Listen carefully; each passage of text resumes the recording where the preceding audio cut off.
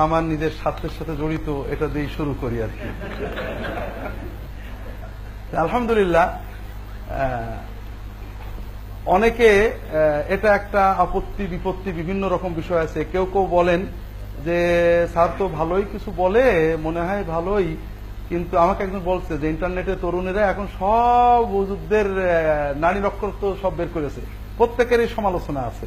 তা আমি বললাম যে আমার সমালোচনা কি? বললে, আপনার বড় সমালোচনা যে আপনি পীর সাহেবের সাথে ট্যাগ বাঁধছেন কেন?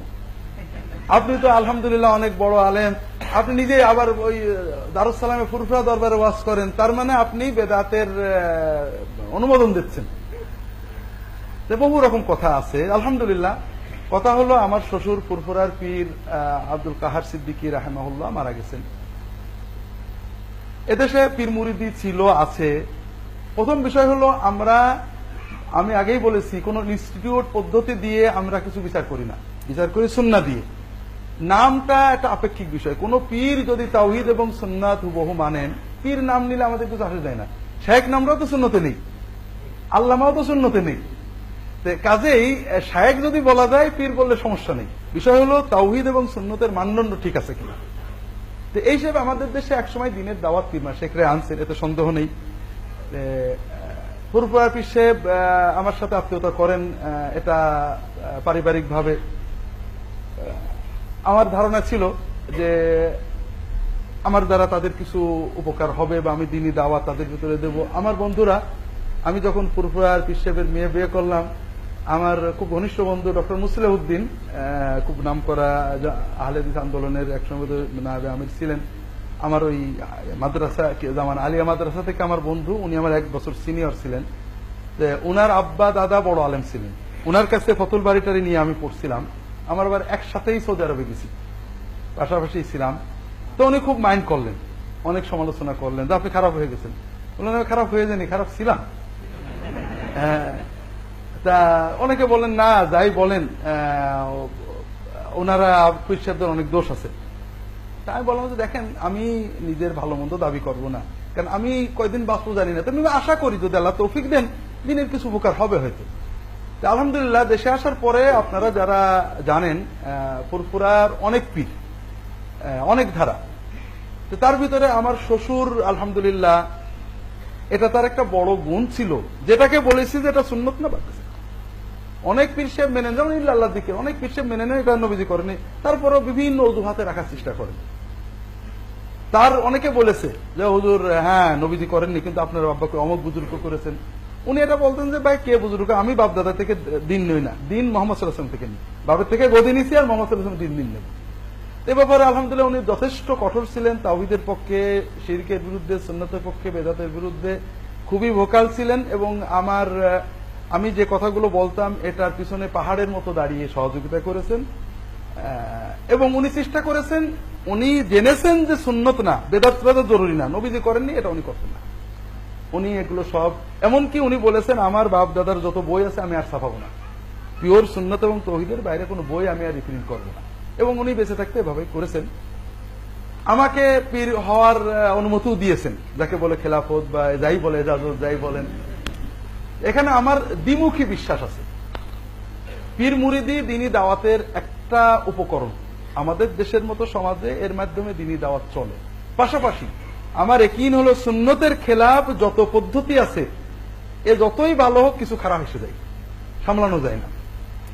পীর মুরিদির আসাস হলো সহবত, একজন ভালো মানুষের সাহস এটা কিন্তু সুন্নত। এই সহবতটার সুন্নত তরিকা হলো একজনকে নির্দিষ্ট করা যাবে না। একজনের কাছে বেশি যাওয়া যাবে, কিন্তু বিভিন্ন নেককার মানুষের কাছে যেতে হবে। সাহাবিদের যুগে তাবে একজনকে নির্দিষ্ট করতেন না। বিভিন্ন নেককার হাসান বসরি শুধু মানে আনাসের কাছে গিয়েছেন এরকম নয়। তিনি অন্য বিভিন্ন সাহাবির কাছে থাকছেন, বসছেন। হাসান বসরির সাথীরা তার কাছেই থাকতেন তা না। অন্যান্যদের কাছেও যেতেন। ওয়াজ শুনতেন, কথা শুনতেন, আল্লাহর ভয়ে কানতেন কথা বুঝতে পেরেছেন। তাহলে পরে সুন্নত হলো নেককারদের সাহচর্য, নেককারদের ভালোবাসা। একজনের সাথে গাছার বাঁধা না। বিভিন্ন নেককার সাধ্য মতো যাওয়া। সেটা মসজিদের ইমাম হতে পারে, একজন নেককার মহল্লাবাসী হতে পারে, একজন নেককার পীর নামের হতে পারে, শেখ নামের হতে পারে, ভালোবাসা তাদের কাছে যাওয়া।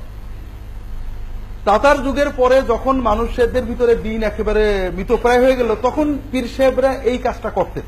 গ্রামে, গঞ্জে থাকতেন, মানুষে তার কাছে আসতো। কিন্তু একজনের সাহচর্য নিয়ে পড়ে থাকা এটা সুন্নতের খেলাফ।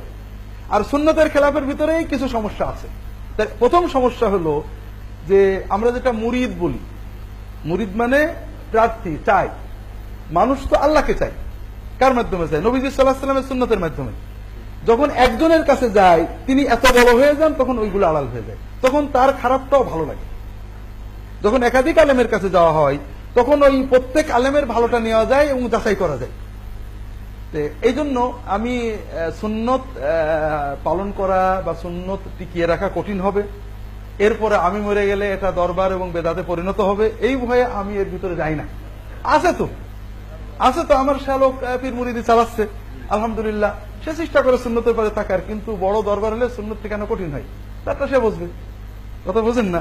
কারণ আমি ফ্রেশ থাকতে চাই, আল্লাহ যতটুকু বুঝতে দিয়েছেন, এই জন্য সুন্নতের বাইরে চলে যাওয়ার সম্ভাবনা থাকে। এই সিস্টেমগুলো মাসনুন না। একজনের সাথে বান্দা, একজনের সাথে বায়াত হওয়া, একজনের কাছে অধিপা নেওয়া, একজনকে শায়েক মনে করা, সহবত নেওয়া, এটা সুন্নত। এবং সাধ্য মতো একাধিক নেককার মানুষের সহবত নেওয়া, এটা সুন্নত। তো এই জন্য আমি পীর মুরিদি করি না। যদিও পীর মুরিদি করা, অনেকে বিশেষ করে আমার পিসে মরার পরে অনেকে বলল যে আমার শ্যালক তো ছোট বয়সে, আর আমার শ্বশুর আমাকে এত হাইলাইট করতেন, অনেকেই আমার কাছে আসছে। হুজুর আপনার সহবত দিতে বললাম আমার সহবত দেওয়ার সময় নেই। আমি বই লাগবার পড়াবো। হ্যাঁ, হিসেব আছে সহবত দেওয়ার জন্য উনি ফিরে আসেন জানার কাছে যান এই জন্য আমি মনে করি পীর আহ, লফজ হিসেবে সিস্টেম হিসেবে ভালো মন্দ নির্ভর করবে এটার ব্যবহারের উপরে। যেমন মাদ্রাসা একটা সিস্টেম পীর মুরিদি একটা সিস্টেম। তবে বাস্তবতা হলো পীর মুরিদির মাধ্যমে একসময় অনেক ভালো কাজ হয়েছে। আবার পীর মুরিদির মাধ্যমে শির কুকুরের হাত বেদাত এত ছড়িয়েছে এবং এটা বর্তমানে এত ব্যাপক হয়েছে যে ভালো পাওয়া একেবারেই দুষ্কর হয়ে গেছে। আর আমি এটার ভিতরে ঢুকে সুন্নত রাখতে পারব না, এই ভয়ে আমি